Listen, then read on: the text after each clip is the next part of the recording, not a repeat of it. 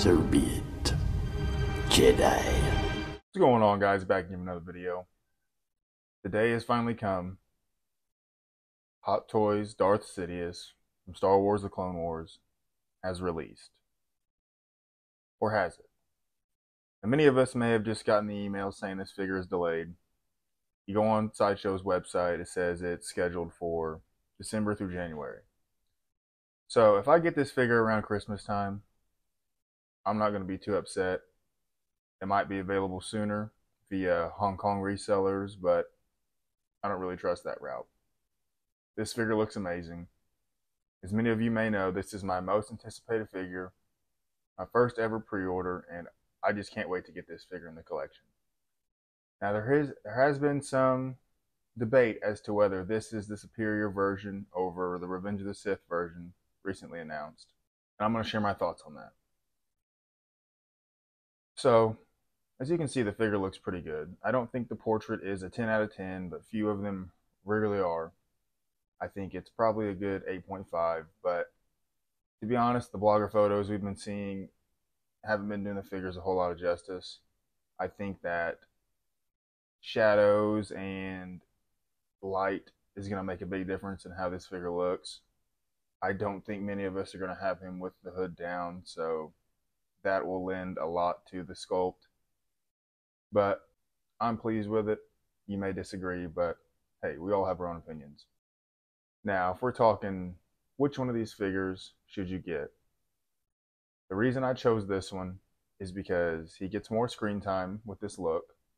Though I will contest that the ghoulish, scarred, revealed version is more iconic. I just think this is more sinister and more subtle. The slight smile he has on his face portrays the evil that is Darth Sidious. I mean, he is the devil incarnate. Um, you could have him as just the Chancellor, and it would work. Uh, you could have him fit with your Episode 1 figures, your Episode 2 figures, your Clone Wars figures. And that's what I plan to do. I think many of us that are going to pick this figure up are going to get Savage that was recently announced. Great figure. And if you don't have the Clone Wars Maul, you'll probably pick that up as well.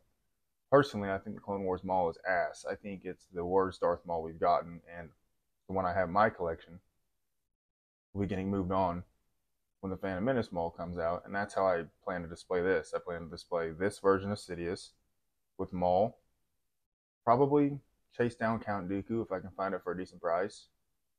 I don't know that I want Grievous. I think he's just kind of a throwaway character.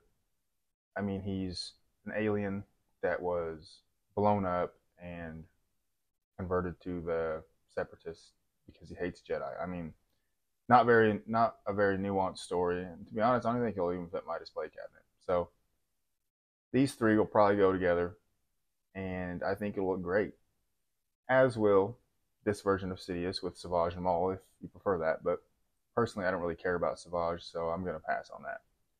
Nevertheless, I think this is the better of the two versions just because you have more display options. Like I said, could be the Chancellor, could be just, you know, good old Sheev, or it could be the Dark Lord of the Sith who is omnipotent and I mean, if you've seen the episode from the Clone Wars or just him in general, I mean, he's a beast. So super excited this figure is finally announced. Super weird that they would say it's delayed and 12 hours later announce it or release it.